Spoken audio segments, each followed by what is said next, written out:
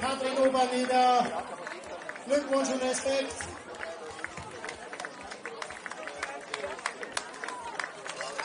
Danke für Landshut.